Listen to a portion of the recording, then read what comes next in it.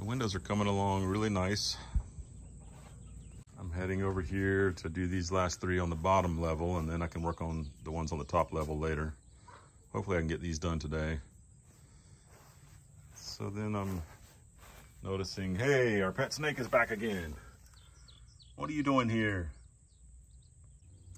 He's trying to get away. I want to grab him and move him somewhere else. You can see he just got a new skin and there's his old skin laying there. So let me just grab you by the head. kind of scaring me.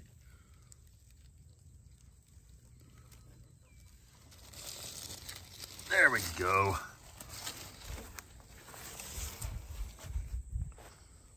I'm gonna put you, I'm gonna put him over there in the woods.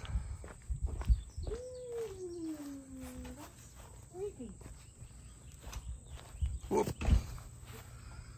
Okay, I gotta pick you up again. Now you're doing this striking position. I don't like that. There you go. Cruise off into there. Good job. Go eat some rodents and some bugs. If we keep seeing this snake, we're gonna have to give it a name.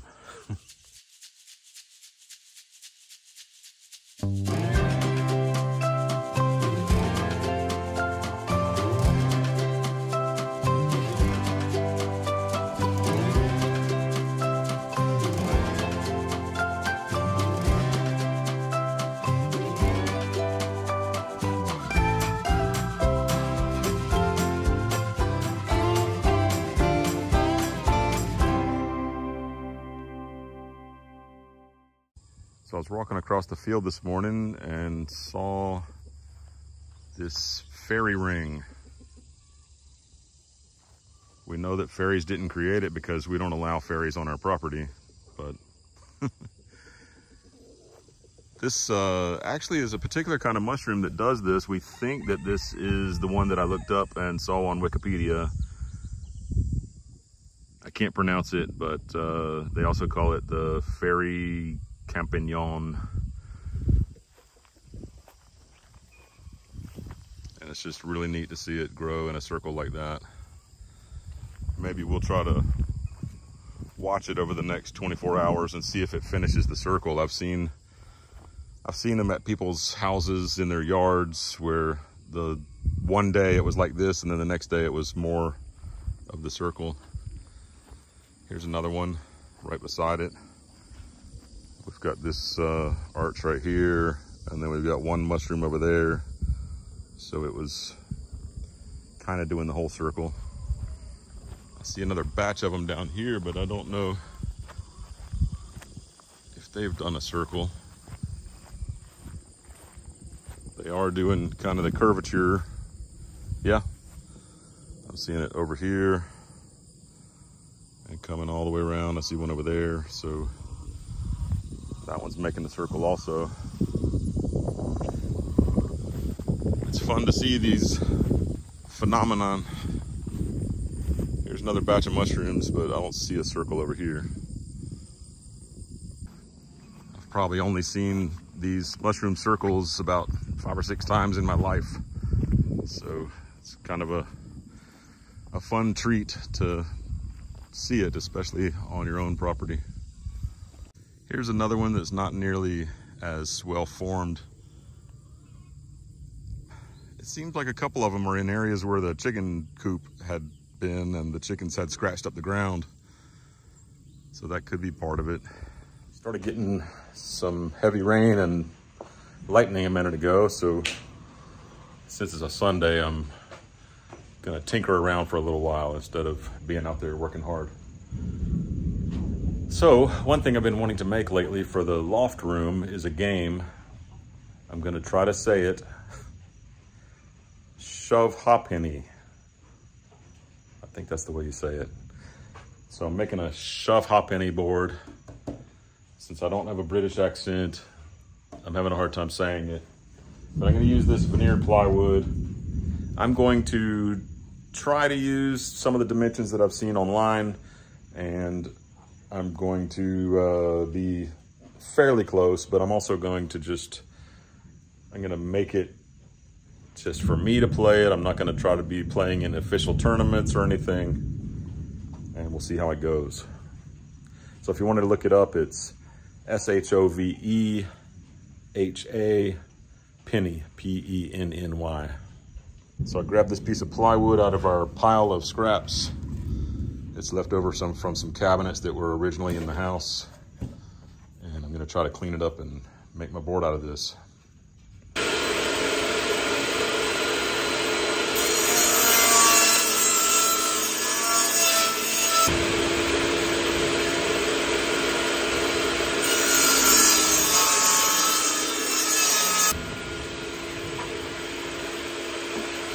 Okay, right now I'm just cleaning it up a little bit.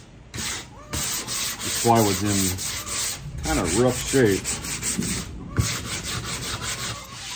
I don't know if you can see it, but these are the high spots all showing up. So the veneer is all kind of bubbly on this side. This is the back side though. I measured up my lines and drew them on there with a pencil. I uh, also sanded my sides, rounded my front corners.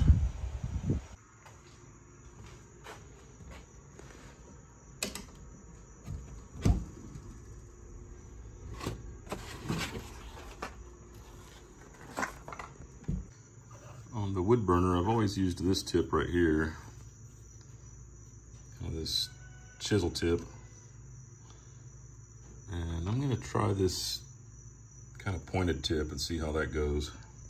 Seems to be working well. It is uh, taking the old polyurethane and sort of lifting it up. So I'm gonna need to sand that after it's done, but it looks like it's doing a pretty good job.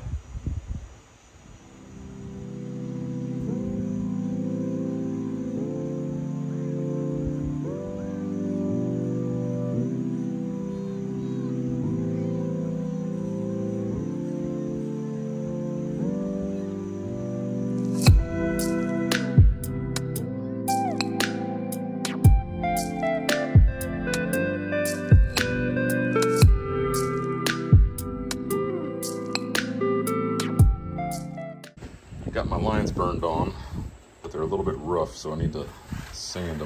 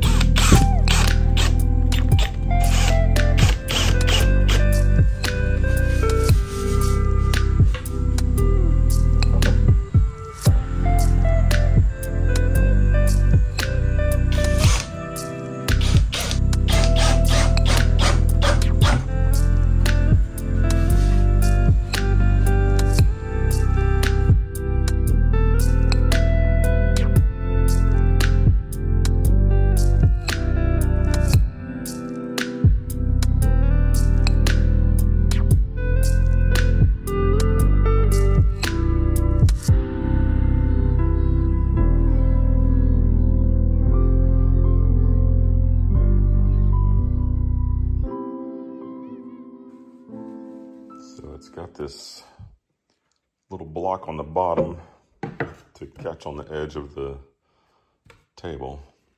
One person takes a penny, Sets it on the edge and you can hit it with your thumb or with your palm. And you do five pennies.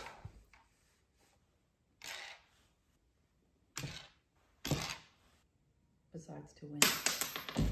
I think I need to sharpen this edge a little bit.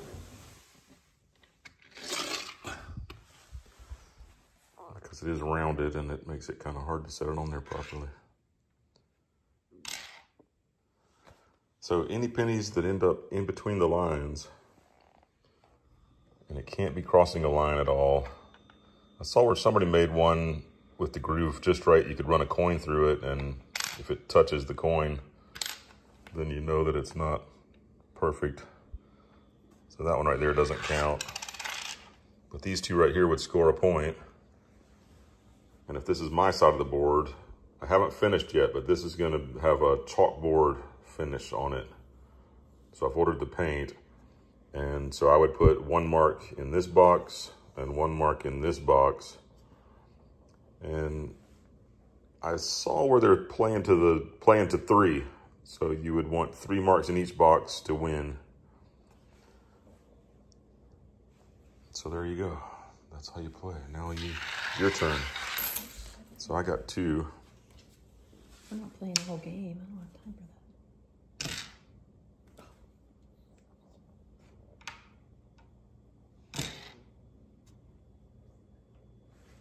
That one looks like it's in.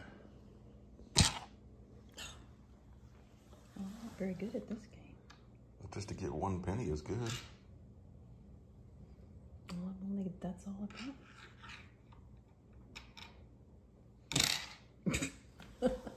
And of course, this is a little backboard to keep pennies from flying over and hitting your neighbors. I got one.